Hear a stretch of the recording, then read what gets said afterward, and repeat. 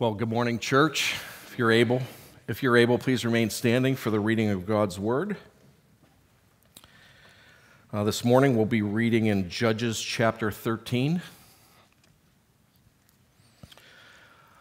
And if you're using a, the Bible in the seat in front of you, that's on page 251. And if you do not own a Bible, that is our gift to you today. So, Judges chapter 13, we'll read verses 1 through 7.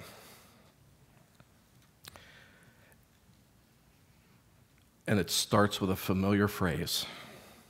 And the people of Israel again did what was evil in the sight of the Lord. So the Lord gave them into the hand of the Philistines for 40 years. There was a certain man of Zorah, of the tribe of the Danites, whose name was Manoah and his wife was barren and had no children. And the angel of the Lord appeared to the woman and said to her, Behold, you are barren and have not borne children, but you shall conceive and bear a son. Therefore, be careful and drink no wine or strong drink, and eat nothing unclean. For behold, you shall conceive and bear a son. No razor shall come upon his head, for the child shall be a Nazarite to God from the womb and he shall begin to save Israel from the hand of the Philistines. Then the woman came and told her husband, A man of God came to me, and his appearance was like the appearance of an angel of God, very awesome. And I did not ask him where he was from, and he did not tell me his name, but he said to me, Behold, you shall conceive and bear a son. So then drink no wine or strong drink, and eat nothing unclean for the child shall be a Nazarite to God from the womb to the day of his death.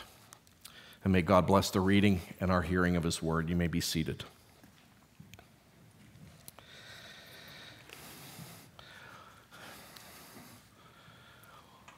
Well, again, good morning, church. My name is Dave. If you don't know me, I'm one of the elders here at uh, Millcreek Community Church and want to welcome you here.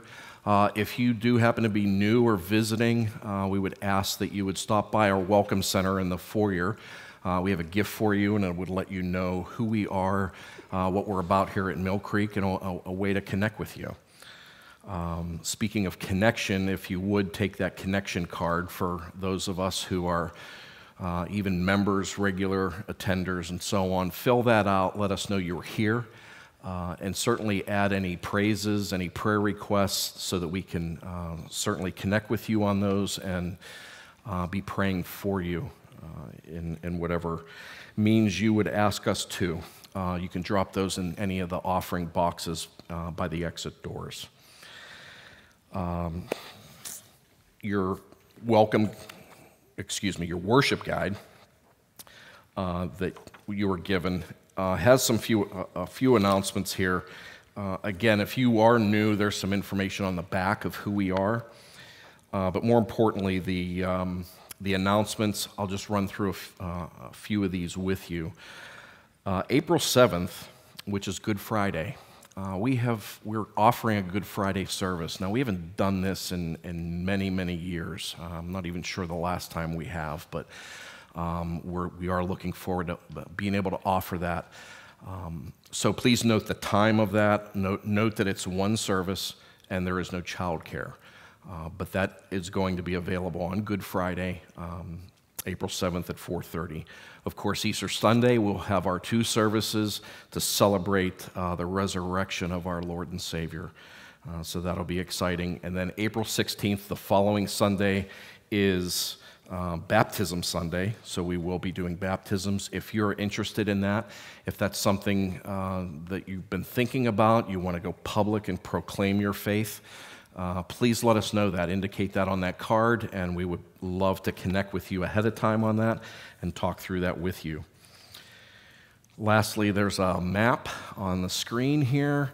Now, you're the second service, so it doesn't matter. Okay, but but if you happen to attend the first service, uh, even next week or the week after, uh, this is what we're emphasizing: is the, if you if you're at first service, exit out this side nearest the funeral home, and it's, that's been helpful to, for the tra- uh, with traffic flow and, and so on. So if you'd be mindful of that. Uh, before I pray, uh, it, just to I'll mention, it is Communion Sunday. And so we have a, actually a couple of special treats today, I think. Uh, number one, uh, our brother Vitali is going to preach the word to us today. So we're looking forward to him bringing that word and, and how he studies the word and, and brings it to us. We are so looking forward to that. Uh, and then at the, the close of the service, Pastor Brandon will come up and serve communion. Uh, so we get two special treats, something a little bit different. Now, with regard to communion, I want to point out to everyone uh, this is the first Sunday we're using new cups. So please be mindful. If you're like me, I'm a creature of habit. I just start pulling that, that top tab, and now the juice is open. Well, these cups, there's a tab for the bottom where the cracker is, and then you'd flip it over and have the. And I was made fun of because I, I gave such great uh, instruction the first service, and I did it right, but for some reason I had juice all over my hands. Uh, so I'm not sure how that happened, but um, it just goes to show you that you don't have to be special to take communion, just part of the uh, Lord's family. So, uh, if you would pray with me. Father, Lord, we are grateful for you, for your word, and how your spirit uh, illuminates that to us. Lord, I pray your blessings on our time today. I pray that you would open our hearts and our minds to your word uh, that you will deliver through our beloved brother and your faithful servant, Vitali. Uh, Lord, give him joy through the process of bringing your word to us. Feed your sheep through him and, and bless him in that. Uh, Lord, we love you. We pray that all that we do here honors and glorifies your name. And it's in that name we pray. Amen. Amen. Good morning, church. It's always an honor and privilege to open God's word before you today. During the first service, I said that I don't think I've ever preached from the book of Judges before. I don't think I can say that again. I've done it, uh, but it doesn't make it easier. So, uh, when, when we study the book of Judges, what an interesting book. It really reminds me of a lenticular picture. I don't know if you ever you, you've seen those before. We have a picture of a screen of this butterfly. Maybe you, you had a, uh, a notebook before like that. I used to have a ruler that has a couple of pictures on there, and if you turn it, it would change the picture. And that's what I think of when I read the book of Judges. On the one hand, on the, from the one point of view, this book is so frustrating. People are sinful, people are offensive to God, they're rebelling against the God, falling into the idolatry. But if you look at from the different perspective, you see the grace of God, you see the awesomeness of God, you see the mercy of God. And as we come to the chapter 13, we come to the 12th judge or a sixth major judge. His name is Samson. Very, very famous judge. And uh, if some of the judges got only one verse from the Bible, he got four chapters. That's four out of 21. He is so famous, he probably made into most of the children Bibles if you say Samson, that name in itself already is being associated with strength and power. If you call a kid, you little Samson, you mean you're a little, really strong kid. And he was great. His greatness we see is starting before he's even born. But he is one judge who did not deliver Israel. Today we won't be talking about Samson's life which you find out will be filled with lust and selfishness. We won't be talking about his strength, which is what he's known for. This chapter talks about the will of God for Samson and his parents. This chapter talks about the state where Israelites are at. But most importantly, I think this chapter talks about the heart of God. As I've been uh, studying this passage, as I've been studying this chapter, the one main idea that was impressed on my heart was the faithfulness of God to his promises, faithfulness of God to his covenant, faithfulness of God despite of unfaithfulness of man. And the first truth we see in this chapter is that first God shows his faithfulness through his intervention. We see God's intervention starting from verse 1. We, we read that the people of Israel did again what was evil in the sight of the Lord.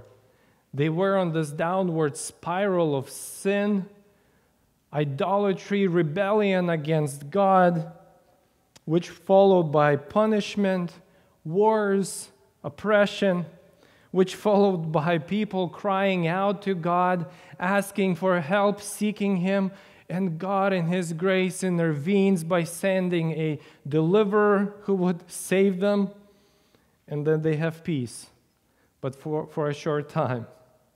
Then the next chapter we go to, then we go to the next generation. We start that cycle again. Wash, rinse, repeat. So frustrating. But in this cycle, something is different. People are in sin, they're in idolatry, they're being oppressed, but nobody's crying out to God. They've been oppressed for 40 years and nobody's seeking the Lord.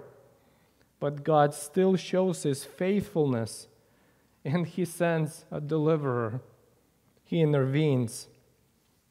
We read that these people were in the hand of the Philistines.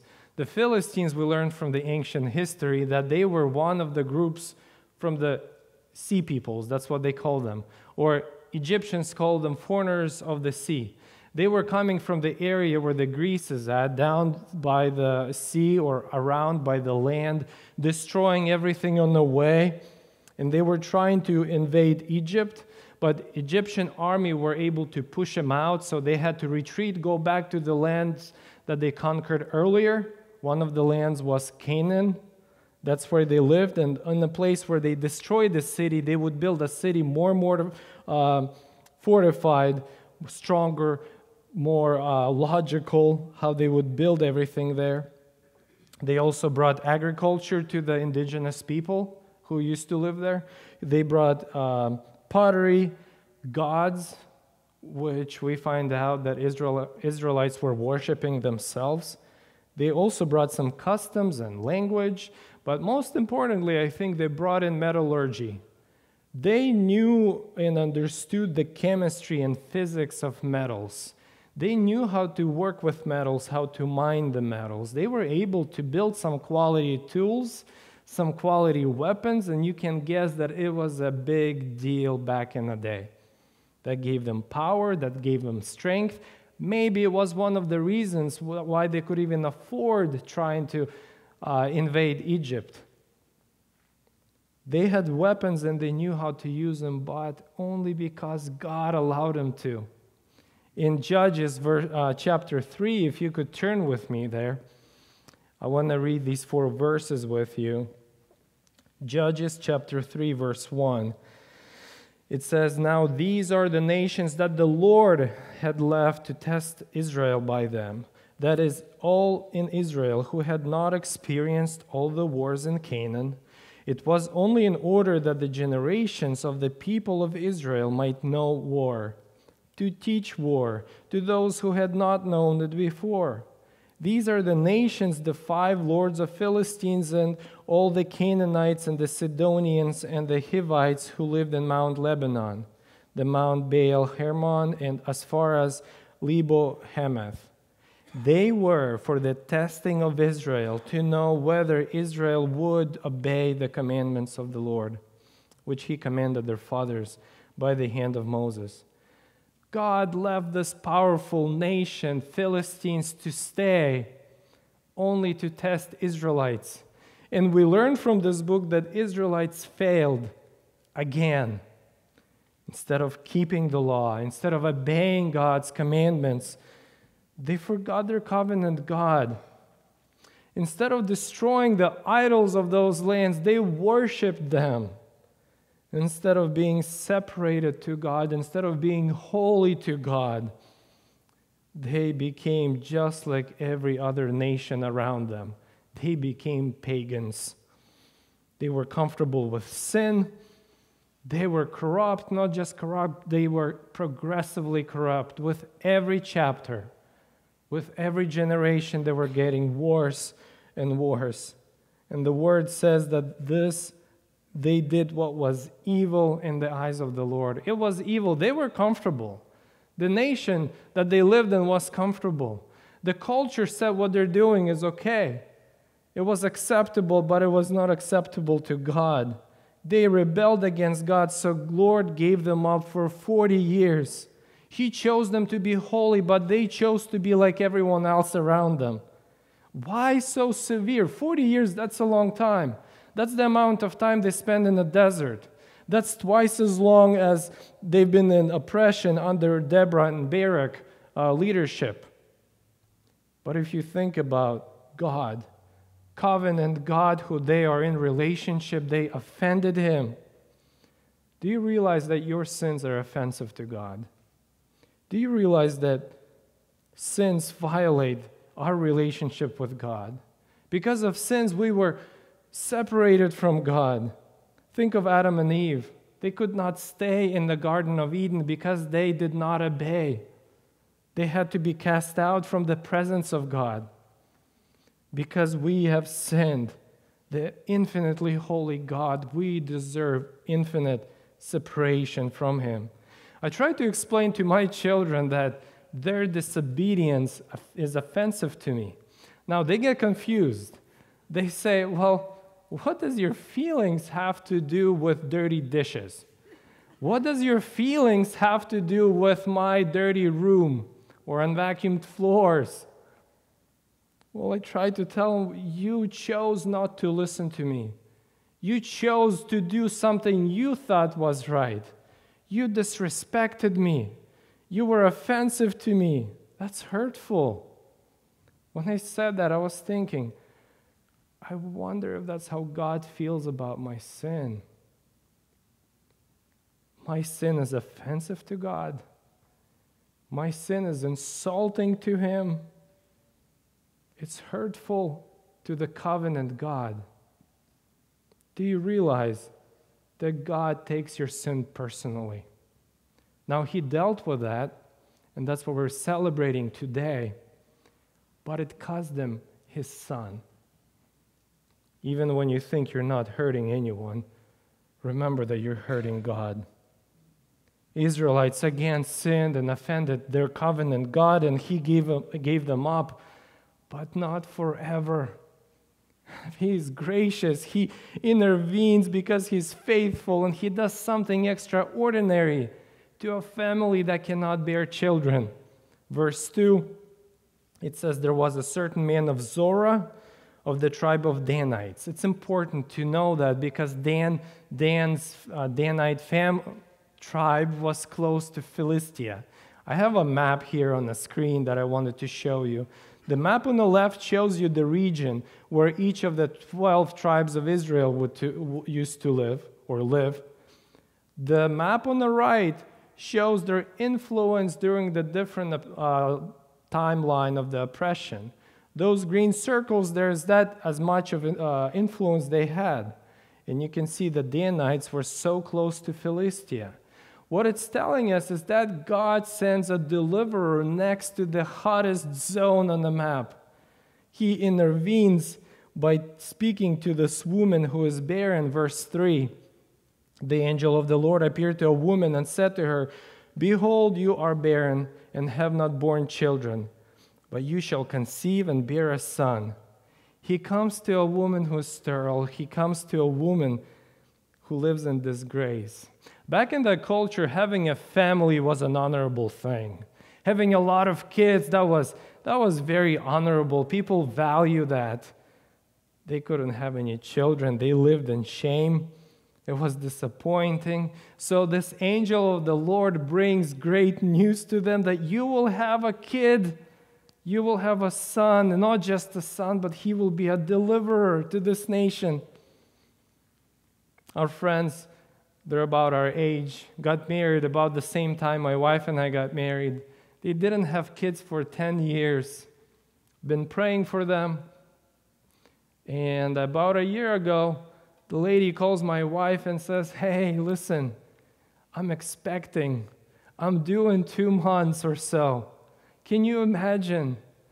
They got, they got a child, their, their son is about a year old.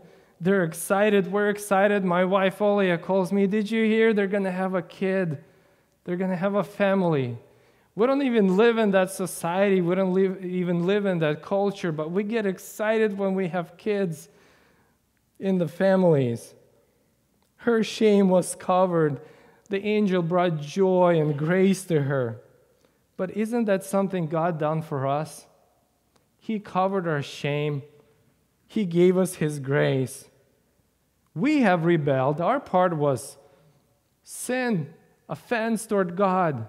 Our sin brought so many harmful consequences. Maybe you're thinking of some in your life. The sin that caused you financial issues, extra bills, sin that caused us health issues, broken relationships. But the Bible teaches that God covers our shame through His Son. He intervenes by sending His Son. And by faith in Him, He lifts up your disgrace. He covers your shame. He gives you honor and joy. He gives you a new identity. You're a new creation sin brought Israelites shame and disgrace. But God intervenes and sends good news to Manoah's wife and says, You're going to have a deliverer. And it's unlikely birth. They can't have a child, but God is do, doing something extraordinary. And we see that in the Bible that every time God does something great, God does something extraordinary, we know that He's up to something. We know that He's going to do something great. Think of Sarah and Abraham not having children until they're 90 and 100. They have a child. Rebecca and Isaac, where uh, Isaac's wife was barren and gave uh, birth to Jacob and Esau. Rachel, Jacob's wife, was barren and gave birth to Joseph, who saved Israel from famine. Hannah couldn't have any children, but God gave her Samuel who was the, who was the person who uh, anointed Saul and David to be a kings. Zechariah and Elizabeth, they couldn't have kids, but God gave them uh, John the Baptist who prepared the way.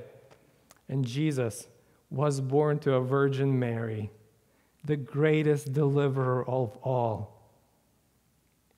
Every time we see this case of impossible birth, we know that God is fulfilling his promise by either preserving his people or delivering his people. And this is what we see in this passage where the angel comes in verse 4 and 3. He calls them, that it tells them that this, their son will be a Nazarite from birth until death. So in verse 6, the woman runs to her husband and she says, The woman came to and told her husband, A man of God came to me, and his appearance was like the appearance of the angel of God. Very awesome. I did not ask him where he was from, and he did not tell me his name. His appearance was so awesome. In other words, it was so terrifying that she was afraid to ask who he is or where he was from. Now, she calls him a man of God, which means it's a title given to a prophet. So we knew he walked like a man, he talked like a man, he, he looked like a man. No wings, no halo, no levitating of the ground. But what she witnessed was terrifying because she witnessed something extraordinary. She witnessed God's intervention. She witnessed God's faithfulness to his promises. She witnessed his greatness. Second, we see in this passage, God shows his faithfulness by giving God's instruction.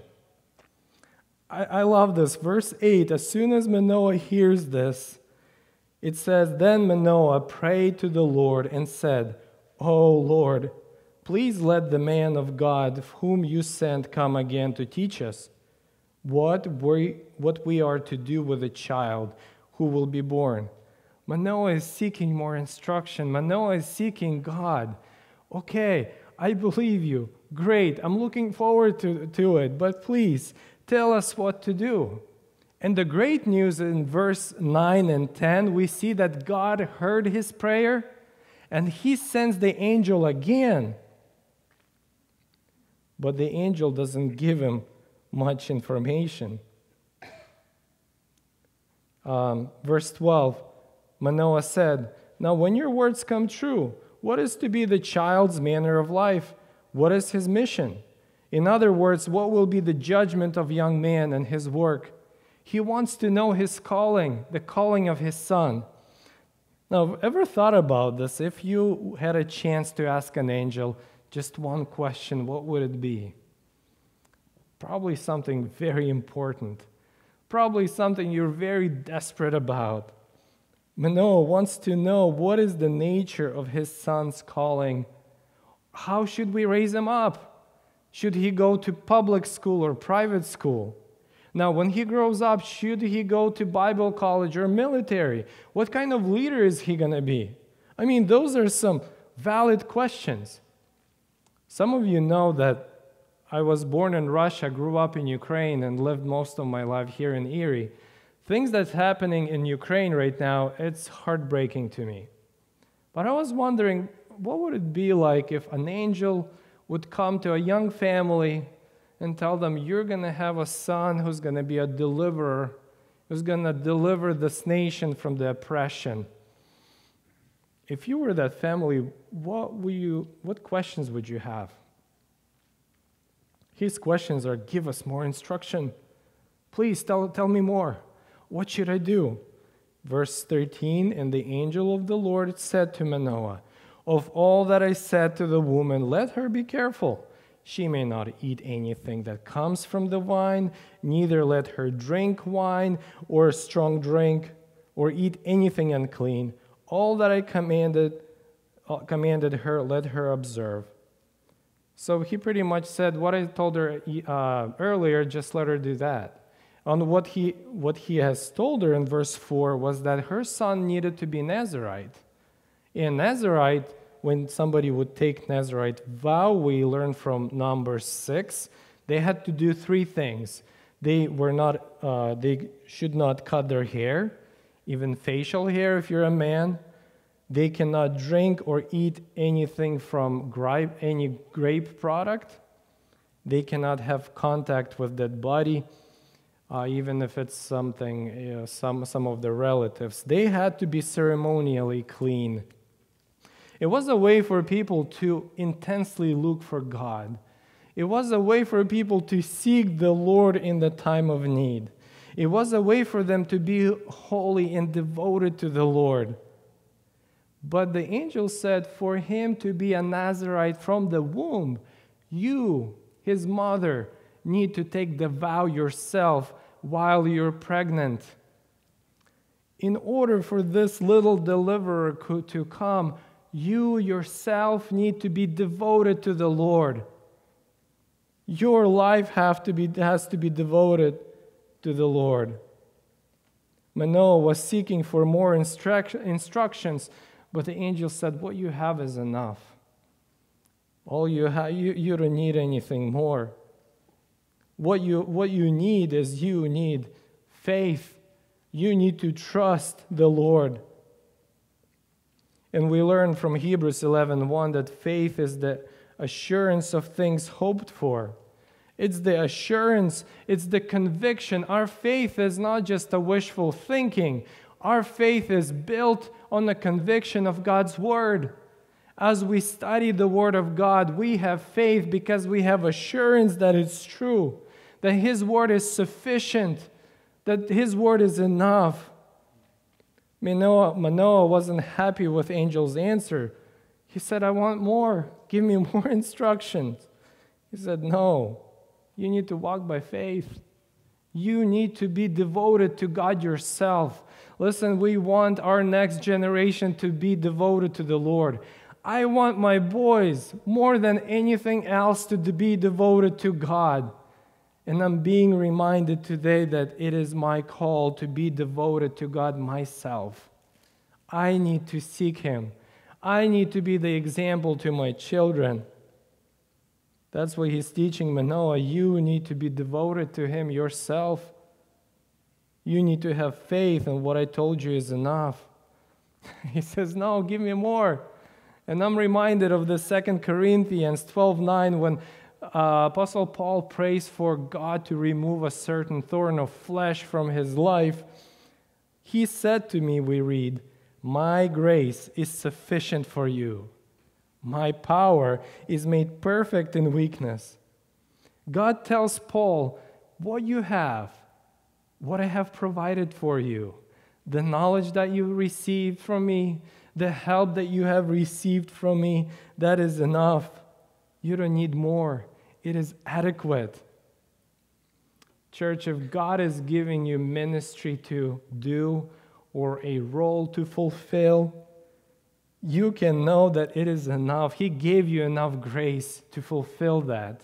He gives you enough grace to accomplish whatever task it is, even if it's parenting. He gave you enough to get your job done. But what you need to do is seek the Lord, be devoted to Him, and trust that what He has given us is sufficient. Maybe we don't need to worry about what school our kids are going to go to or what we're going to do tomorrow. Jesus says in Matthew 6:34, "Therefore do not be anxious about tomorrow, for tomorrow will be anxious for itself."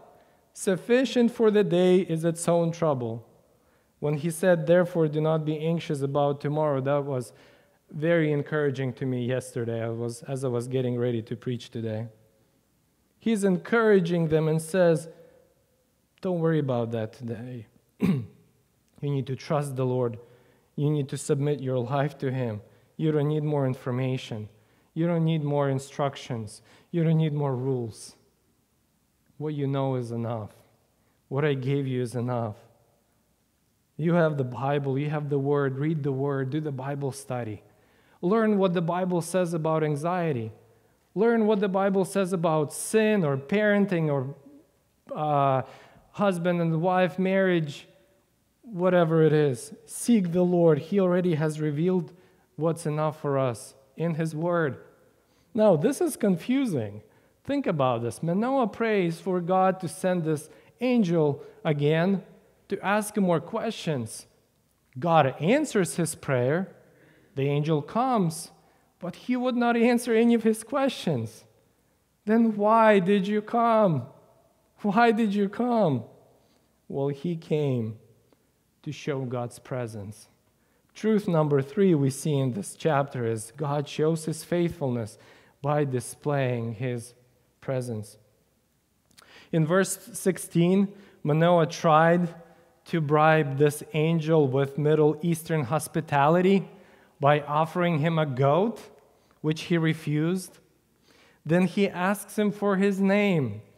It was another way of getting to this close relationship with, a, with somebody that you don't know.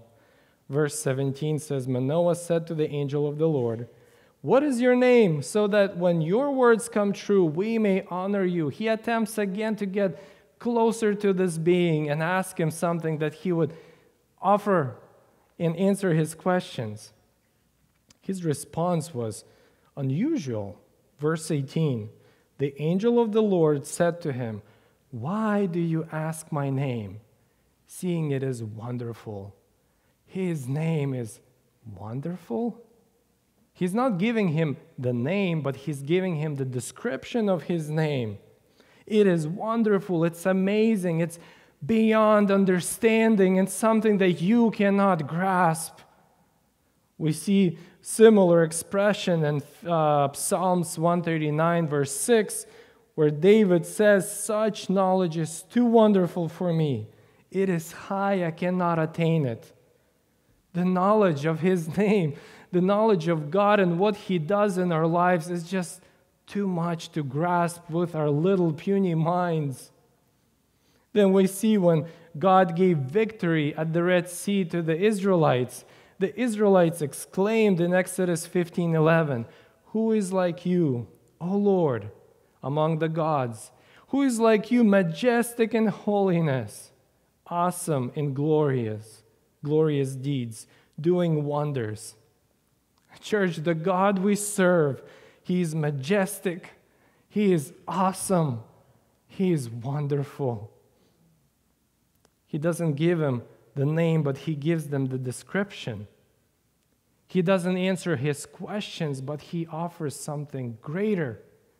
What he reveals to him is that this is not just an angel, this is a Yahweh himself. And a big theological word that I want to introduce to you is theophany. It has this word theo in there, which means God, like theology, the study of God. Theophany is the visible manifestation of God. It's, it's the appearance of God, which we see in the Old Testament in many different uh, ways. We see God revealing himself to his covenant people in, in the thunderstorm and burning bush, as a warrior, as a me- messenger. But all those manifestations, they were temporary appearances of God pointing to the permanent appearance which was fulfilled in Jesus Christ. John 1:14 says, "And the word, that's Christ, became flesh and dwelt among us." Some theologians say uh, this is Trinitarian mystery, and I'm just going to leave it there, okay? We're just going to stop with that. But we see that God, He wants to show that He is present and he's revealing himself on the mountain Sinai in the cloud, lighting, and thunder. He's revealing himself to Isaiah as the one sitting on the, on the, uh, sitting on the throne. Thank you. He is the, he's appearing to Ezekiel with these strange creatures called cherubim. All of these only to point that we are serving God who is not distant we're serving the one who is present. Yes, he's, he's so holy. Yes, he's so far, yet he's choosing to appear and be present in our life. And we have that through Christ, through Jesus. We have that through, the, through his Spirit. Manoah's prayer was, uh, was answered, not the way he wanted to, but the way God answered it was to strengthen his faith. He answered it to teach him the fear of God or the awe of God? God answered Manoah's prayer to show him the presence of God in his life. And we see this brave Manoah's reaction here. Verse 22 Manoah said to his wife, We shall surely die, for we have seen God. Now we know that he didn't die. Uh, his wife gave him a good theological lesson and you can read that for yourself. But what we see in this passage is that Manoah didn't need more information. Manoah didn't need more instruction. What he needed was to see the presence of God. Church, we don't need more information. We don't need more rules, more instructions. What we need is to seek the Lord what we need is to seek the presence of God through prayer every day, every moment of all, all our life by praying to Him and seeking Him, seeking His help. We need to seek His presence as we read the Word. One of the practices that I've been doing lately as I open the Word in my quiet time, I'm asking God, please show me Jesus. Because everything, this whole Bible is pointing to Him. I mean, information is good. It's good to know the cities and names and dates and all the things. It's useful. But knowing the name, knowing God, knowing the character of God, that's why we go to the Word to seek His presence. And this is the greatest fulfilled promise that we have God becoming flesh. His presence has been revealed through Jesus. And even though Jesus may not be physically or visibly in this room right now, his spirit is in us. His spirit is here. The spirit of Christ is dwelling in us if you have put your faith in him, if you are in Christ. Think about this. Although we have sinned, although we have offended God, rebelled against God, holy, most holy God, and deserve the separation. He has sent his son, he intervened to bring us to himself. He sent his son to take our sin, to pay the punishment that we deserve. that those who put their trust in him, that those who believe in his death and resurrection, that it is sufficient, will receive eternal life. They will receive the presence of God, who will be dwelling in them, empowering them to live out uh, their Christian life. Spirit that guides us, strengthens us, comforts us, reminds us of the truth. Spirit that gives us the eternal life and gives, will give us resurrection. Question is Do you have eternal life? Do you have His Spirit living in you? If not, I'm asking you today to turn toward God today. Submit your life, surrender your life to Him, seek Him.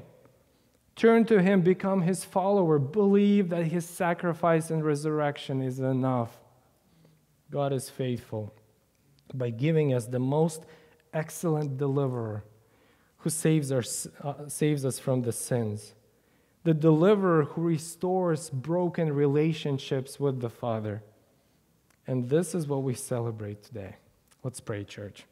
Father, thank you for your grace. Thank you for your presence in our lives. Thank you for interfering and uh, bringing us to, to know Christ and saving us from our sins, giving us the new life we have in Jesus. I pray, Lord, for those who don't know you yet, that they would put their trust in you today. ask this in Jesus' name. Amen. And as we uh, continue in that spirit of what Vitaly has already said, um, we have an opportunity to respond to God's word. We get to respond in, in worship. We're going to sing, but we get to respond in worship by celebrating communion and what it means for us as believers. Vitaly pointed out at the end there, we long for a deliverer. We long for someone to save us and to deliver us from our greatest problem, which is our sin. And God provided that person in Jesus. He sent him to deliver us. So as we celebrate communion, we remember that, and that's a, it's an important concept of communion is that we are called to remember Christ's death and His sacrifice. See, the problem with uh, the book of Judges is that they keep going through this cycle, and the onset of the cycle comes when they forget who God is, and they lean on their idols, they lean on themselves. Today, and once a month we celebrate communion so that we remember who God is. We remember what He's done for us. So, we're about to sing a song uh, uh, in a moment here. Uh, it's a song that I want to introduce for this Easter time. It's a, it's a wonderful song about the cross. It's called Because of Christ. And the chorus of that song goes like this It says, May I never boast in anything except the cross of Jesus Christ. May I not forget there it is, that remembrance. May I not forget the blood that he shed for me. It's by his death that I'm alive. Because of Christ, I am alive. Again, the song is going to call us to remember. What we know to be true about communion is this it's a special time for believers. And what we offer here at our church is that, that communion is there and it's available for anybody who is in right relationship with the Lord, walking with Him, and has a, has a relationship with Him. What we're doing is we're celebrating what God has done for us. If that's not you today, then we just ask that you just leave the communion where it's at, and we're going to have a time of reflection. We would encourage you to, to pray and surrender your life to the Lord so that you can have a relationship with Him. You can celebrate what He has accomplished for you on the cross. But as we do that, I just want to remind us of why this next section is important for us. In 1 Corinthians 11, the, the famous chapter on, on communion, we read verses 23 through 26. It talks about how we take communion. But in verses 27 through 29, it talks about the heart that we need to have as we do that. Let me read verse 27 for you. It says, Whoever therefore eats the bread and drinks the cup of the Lord in an unworthy manner will be guilty concerning the body and the blood of the Lord.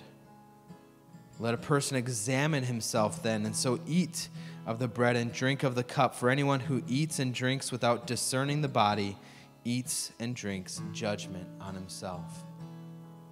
The encouragement there, and what this next moment is for us, is for us to just pause to pray, to reflect, to examine, and to discern how great the sacrifice was for us that Jesus shed his blood in our place and for our sins.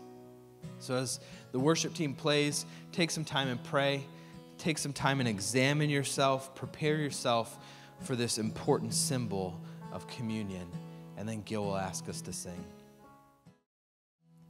You reach down in the chair in front of you, there's communion cups. And as Dave, as only an engineer can do, gave us such wonderful instructions on how to open these, they are new. Um, so we would encourage you to grab that. Uh, we're going to read through this next portion of Scripture. Uh, and as we do, we'll celebrate the Lord's death and resurrection. 1 Corinthians 11 23, it says this For I received from the Lord what I also delivered to you, that the Lord Jesus, on the night when he was betrayed, took bread.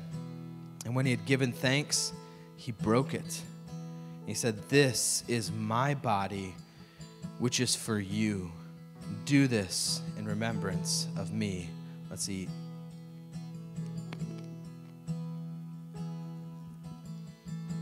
You can open up the tab on the top of your cup.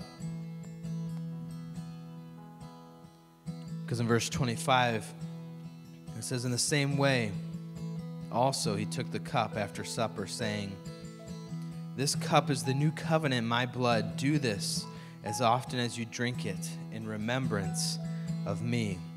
For as often as you eat this bread and drink this cup, you proclaim the Lord's death until he comes. Let us remember in the cup today.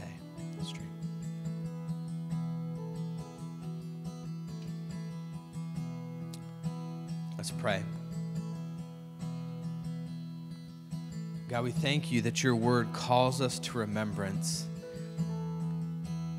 God, that it doesn't leave us in our forgetfulness, but it calls us to remember you and what you've done and what you've won and what you've accomplished for us on the cross. God, we thank you that, that we can remember that together as believers and we can be unified in what you've accomplished and what you've won for us on the cross.